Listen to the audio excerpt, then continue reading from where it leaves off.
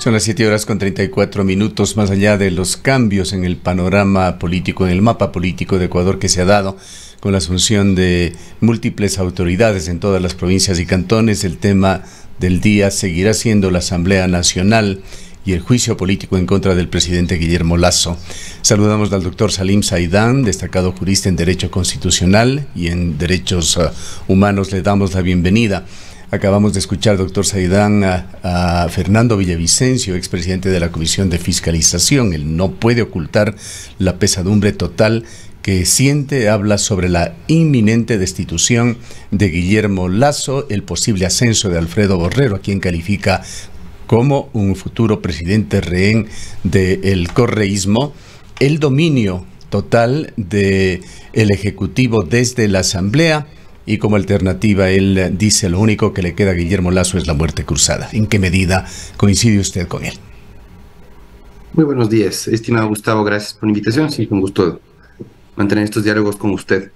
Yo eh, considero que es muy complejo el panorama político, ¿por qué razón? Porque el correísmo em, ha ganado algunas alcaldías y prefecturas, y hay autoridades locales posesionadas el día de ayer, eh, por otro lado, también eh, asegura el control del Consejo de Participación Ciudadana. Usted sabe que cuenta al menos con tres, cuatro consejeros alineados, con lo cual fácilmente hará mayoría para designar autoridades de control y de justicia. Y por otro lado, el Consejo de la Judicatura, ya hemos visto el personaje que preside el Consejo de la Judicatura, el señor Wilman Terán, que eh, al parecer también está alineado con el correísmo y, y, digamos, lidera una nueva mayoría en el Consejo de, de la judicatura, con lo cual el control de la justicia también eh, en cierta medida estaría asegurado. Complejo panorama porque las instituciones han sido tomadas por el correísmo. ¿sí? Es el plan que justamente eh, eh, ellos lo tenían muy bien diseñado. si algo hay que reconocer al correísmo es que tienen estrategias muy bien planificadas, ¿sí? y no precisamente para para eh, llegar legítimamente al poder, ¿no?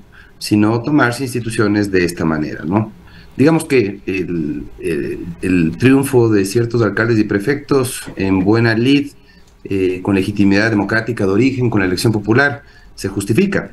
Pero claro, esto de tomarse la, el Consejo de la Judicatura, el Consejo de Participación, que supuestamente es ciudadano y no partidista, sí ya eh, despierta ciertas alertas. Y a mí me parece que la, inminente destitución del presidente de la República es un hecho. Se podría adelantar si es que firma el decreto de muerte cruzada. Yo no veo ningún inconveniente a que él eh, firme ese decreto. Pero eh, también es compleja esa decisión, eh, Gustavo. Yo creería que eso sería lo mejor. Hace rato que vengo alentando al presidente de la República que lo haga. pero es una decisión muy difícil con este escenario político porque Imagínese seis meses gobernando, ¿lo dejarán gobernar? Los socialcristianos, los correístas, ISA, ¿le dejarán gobernar seis meses al presidente de la República? Yo lo dudo. Yo lo dudo. Así que eh, Doctor Saidán, eh, muy buenos días. Eh, gracias por acompañarnos en esta mañana. Pues justamente sobre el tema de la muerte cruzada, nos hemos venido preguntando si es que el presidente de la República podrá efectivamente justificar o si tiene realmente las todos los elementos que le permitan invocar a esta muerte cruzada y a través de qué vía podría hacerlo de estas tres posibilidades u opciones que la norma jurídica le otorga. Y muy buenos días, estimada Rosana. Eh, son tres las causales que tiene el presidente de la República. Eh, una de las causales le obliga a la Corte Constitucional a intervenir, es la arrogación de funciones. Yo creo que esa sería, eh, estaría prácticamente descartada. Quedarían dos. La grave crisis política, conmoción interna, podría ser una de las causales si lo justifica el presidente de la República. Creo que esa todavía no se configura. Yo me iría más por la, por la tercera la obstrucción reiterada de la ejecución del Plan Nacional de Desarrollo. Me parece que esa es la causal más clara que podría motivar, que podría justificar el presidente de la República en los constantes intentos por obstruir los proyectos de ley de iniciativa del Ejecutivo. Para eso tendría que, acudir al reciente historial en su relación ejecutivo-legislativo, el tratamiento que han tenido las, las iniciativas presidenciales en la Asamblea ha existido un constante bloqueo, ¿no? Salvo aquel acuerdo político que nunca lo admitieron, pero que obviamente existió, que fue evidente, que fue el que tuvo comunes para el gobierno para aprobar la reforma tributaria. Eh, sin embargo, de ahí en adelante lo que, lo que hemos tenido es bloqueo, eh, em, inclusive decisiones totalmente irresponsables sin la previsión presupuestaria. Usted recordará las reformas en el ámbito de la educación eh, para el alza de sueldos, sin una planificación presupuestaria, sin analizar si es viable desde el punto de vista presupuestario, solamente por una decisión de carácter demagógica, ¿no? la producción legislativa ha sido tan escasa, estimado Gustavo, que no pasan de los 40 los proyectos de ley de este periodo legislativo. Eh, se han dedicado a condecorar, si no, eh, mire eh, la cantidad de resoluciones y acuerdos que han aprobado en la Asamblea Nacional, se han dedicado a declarar el Día del Bizcocho, el Día de la Guayusa, el Día de la Marimba, y la producción legislativa ha sido muy pobre. ¿Por qué razón? Entre otras cosas porque han bloqueado todos los, o, buena parte de los proyectos de ley presentados por el Ejecutivo. Entonces, me parece que ahí hay una clara causal que podría invocar el presidente de la República. Ahora, ¿cuáles serían los plazos, doctor Saidam? Entendemos que ya se ha convocado para el día de mañana el inicio del juicio político. Entendemos además que el presidente de la República deberá acudir a la Asamblea Nacional para su defensa. ¿En qué momento o hasta qué momento podría el presidente de la República tomar esta decisión? antes de que se presente la moción para, de, censura y destitución y se someta a votación. El presidente de la República inclusive podría comparecer a la Asamblea Nacional, realizar su defensa, presentar su, em, digamos, su, defensa durante tres horas, que es el tiempo que le, que le confiere la, la ley para que pueda defenderse, sustentar sus pruebas de descargo, para decir que no es responsable políticamente por omisión en el delito puntual que le atribuyen, que es el de peculado. Así que eh, yo creería que hasta antes de que se someta a votación esa, esa moción de censura y destitución, el presidente de la República tranquilamente lo puede hacer, lo puede anunciar hoy, lo puede anunciar el día de mañana mientras realiza su intervención, eh, lo puede realizar saliendo de la, de la Asamblea Nacional.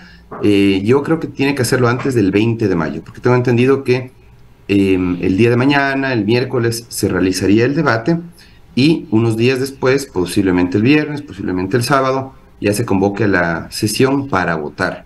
Em, antes de esa sesión para votar, tranquilamente el presidente de la República podría anunciar la firma del decreto de muerte cruzada, que sería una buena manera de destrabar esta, esta crisis política con el riesgo para él de que no lo dejen eh, gobernar los meses que, que se quedaría en el ejercicio del ¿Qué cargo. ¿Qué pasa, doctor Saidán, si la Asamblea, eh, en la línea que, ha anticipado el día de ayer Virgilio Saquicela, no reconoce la validez de las causales asumidas por el eh, presidente de la República?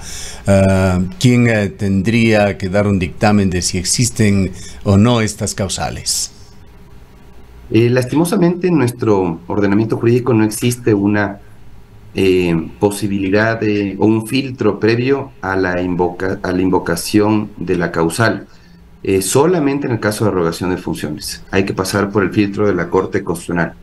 Eh, si, no se, si, si, no se invoca esa causal, el presidente de la República, con la sola motivación en el decreto con respecto a la causal, le basta para, para poder decretar la muerte cruzada. Así que lo puede hacer sin ningún control sin ningún, ninguna revisión previa de ningún organismo, en este caso, por ejemplo, de la Corte Constitucional. No, no tiene que intervenir la Corte en estas dos causales, grave crisis política o la, la, grave, la reiterada obstrucción en la ejecución del Plan Nacional de Desarrollo. Queda básicamente sujeto a la, a la, voluntad del presidente.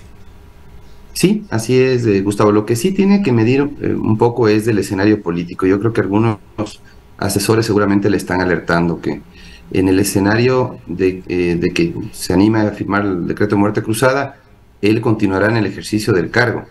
Cesarán en funciones eh, los, los asambleístas, nada más, hasta que se realice el proceso electoral para elegir al nuevo presidente de la República, elegir también a los nuevos asambleístas, em, pero mientras tanto em, tendremos eh, mucha actividad en las calles del país seguramente, Em, ya inclusive actores políticos y responsables como el señor Isa ya ha anticipado que va a convocar, va a convocar movilizaciones si es que el presidente firma la muerte cruzada. Ahora, los asambleístas no es que así nomás pueden desacatar el decreto del presidente de la República. Eh, absolutamente irresponsable también la, declaración del señor Saquicela de que no van a acatar.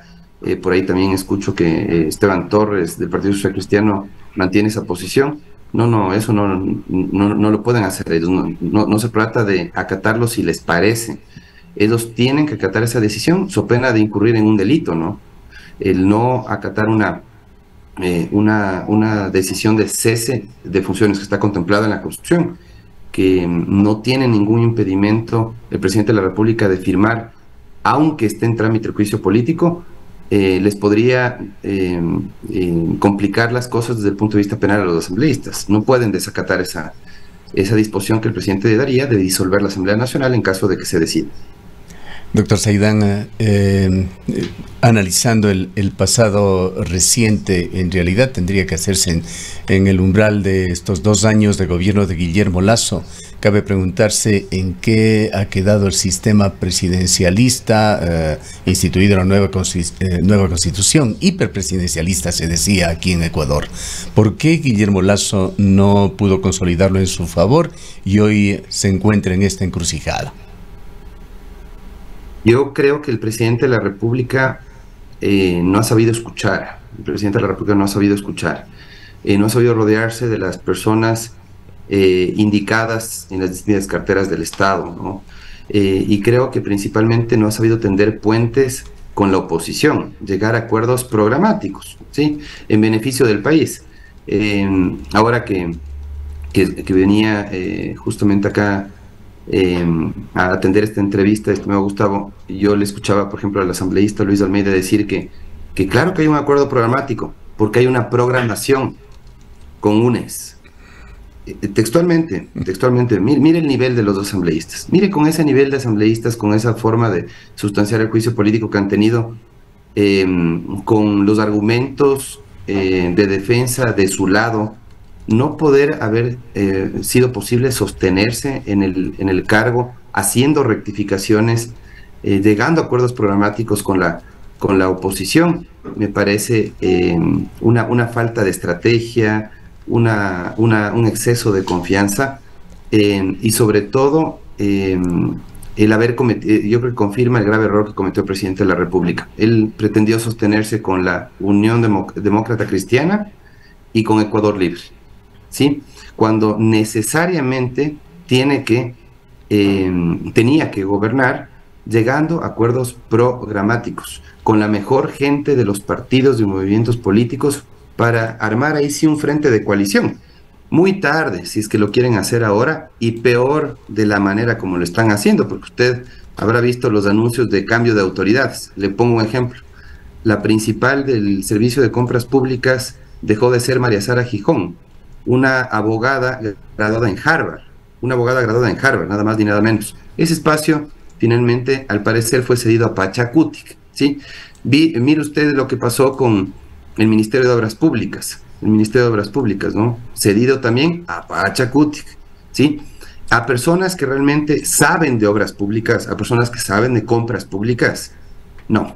Entonces el presidente de la República sigue cometiendo los mismos errores, que es confiar las carteras de Estado a personas que no tienen ni la formación ni la experiencia en los campos en los que se necesita reforzar técnicamente la gestión gubernamental. Entonces, creo que el presidente de la República no ha sabido, eh, no ha sabido eh, escuchar, no ha sabido escuchar y no ha sabido rodearse de las personas competentes para la gestión gubernamental. No se trata de ceder cualquier espacio, a cualquier, eh, a cualquier político.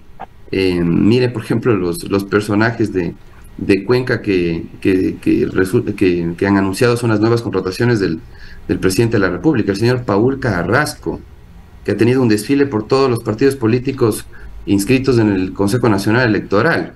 Eh, esa persona le suma, tiene una, un buen historial de gestión gubernamental para, para decir que realmente va a respaldar la gestión del presidente de la República, creo que el presidente está reclutando a las personas incorrectas.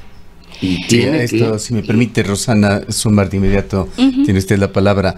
A esto se suman varios nombramientos adicionales que no trascienden tanto, pero hay un uh, polémico, muy polémico director del Seguro Social nombrado recientemente que, que viene de como un resultado más de una serie de, de amarres y controles del Instituto Ecuatoriano de Seguridad Social que se encuentra en semejante crisis. Está por ahí allí también Elisa Caramillo, directora de CERCOV, no sé si era la funcionaria a la cual usted se refería, eh, de ella hay que recordar que fue la encargada de compras de medicamentos durante esos polémicos espacios de poder de Correa y Moreno. Así son los errores del Ejecutivo. Rosana, por favor. Eh, doctor Saidam, yo quería consultarle respecto de ese otro panorama, la censura y la destitución del presidente Guillermo Lazo. Asumiría el poder Alfredo Borrero. ¿Cree usted que él podrá o continuará la línea del actual mandatario? Llegó con un proyecto, con una propuesta de la mano eh, o acompañando a Guillermo Lazo.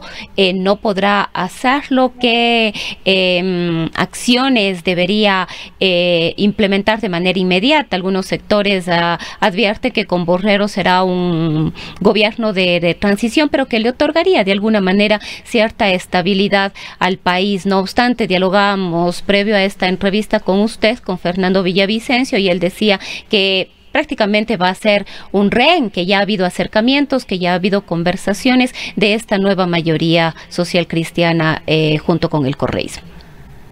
Sí, usted eh, eh, recordará eh, Rosana que en el pasado ya hemos tenido estos escenarios de vicepresidentes eh, con inexperiencia en el campo político que han tenido que, em, digamos, aceptar esa subordinación a ciertos líderes políticos para poder tener algo, un espacio de gobernabilidad.